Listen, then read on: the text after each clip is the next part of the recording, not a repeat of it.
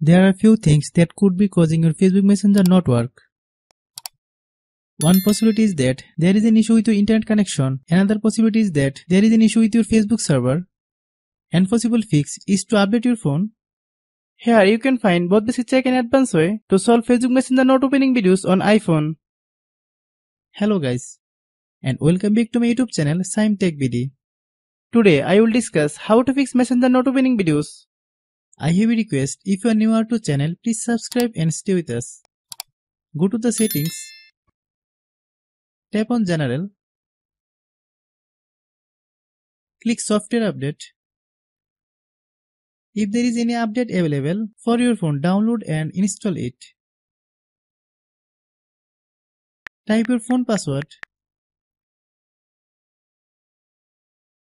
After the update is complete, restart your phone once. Then open the App Store. Click search bar then type Messenger.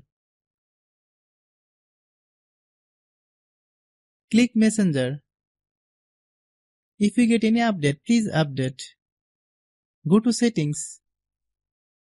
Click General. Click iPhone storage. Find Messenger. Click Messenger. Then click Offload app. Click Offload app. Then click Reinstall app. Wait for a while, the process will take to 5 to 10 minutes to complete. I have a request, if you are new to channel, please subscribe and stay with us.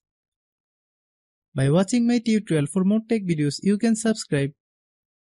After following all the steps, restart your phone.